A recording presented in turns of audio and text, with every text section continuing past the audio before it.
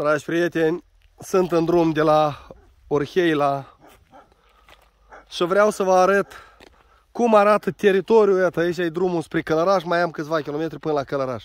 Dragi prieteni, câți ani de zile se discută despre implementarea unei strategii de sortare deșeurilor pe câteva regiuni. Deja s-a dus un ministru la mediu, s-a mai dus un ministru la mediu, dar strategia așa și rămâne doar pe hârtie. Ca să înțelegem în continuare și vorbim, arătați, ia uitați-vă, astea sunt lucruri reale în rămâne în urma noastră. Eu înțeleg câți deșeurile noastre, eu înțeleg că 30 de ani nu s-a făcut nimic, eu tot înțeleg. Dar uitați-vă că astea se bate vântul și le ia din gunoi ăștia asta, care nu mai știu, e pe muchea dealul la Călăraș. Și cât de bine arată gunoi ăștia asta. Pe fundal se arată stațiile eoliene, generația nouă de producere a energiei. Și aici se arunc în câmp și le ia vântul, deșeurile, pelicula și se duce mai departe. A? Mai auzit să discute în public despre strategii, despre parcă e anul nou. Să mai discute, doamne ministru, doamna, domnul, șefa comisiei parlamentare, mai discută cineva despre strategia națională a mediului, despre sortare, despre banii care ne dau europenii. Să mai discută?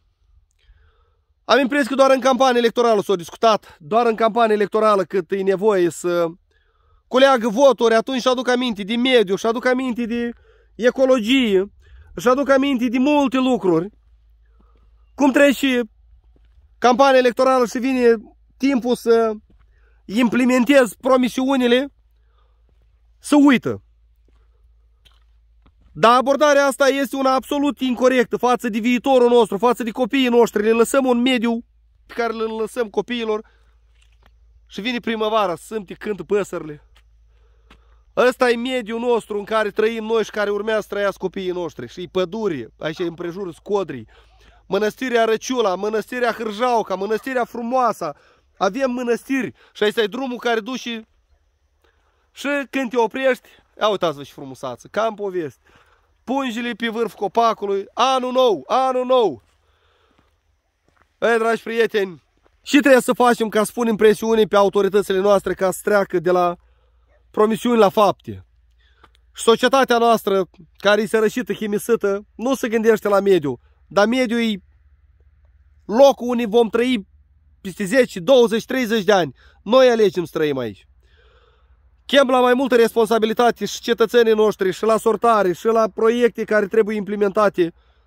Toată societatea e vinovată, începând la conducere și terminând cu ultimul cetățean care aruncă. Dar aici e dezastruos, vă spun, o zonă pitorească, cam poveste, plină cu mănăstiri și care așa arată dezastruos. Te uiți aia. Și drum. Minte la guvernare.